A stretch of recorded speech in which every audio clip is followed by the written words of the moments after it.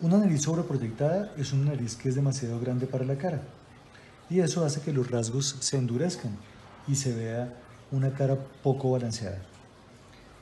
Si redefinimos la forma de la nariz, si quitamos un poquito la montañita y un poco la punta, inmediatamente vamos a encontrar una nariz que es mucho más equilibrada para el rostro y de esta manera se va a ver más balanceada y más armónica. El esqueleto de la nariz está formado por dos cartílagos que tienen forma de herradura. Esos cartílagos se llaman los cartílagos de la ala de la nariz. Cuando esos cartílagos son muy grandes, entonces la nariz se ve demasiado salida o demasiado proyectada.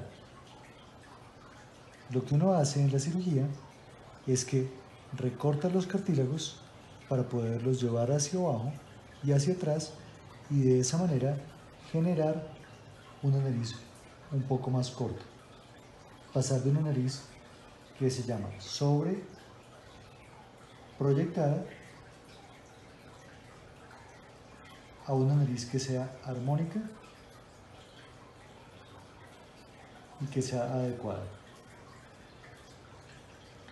Y lo más importante es que tiene que verse natural porque si no se ve natural, no se ve bien.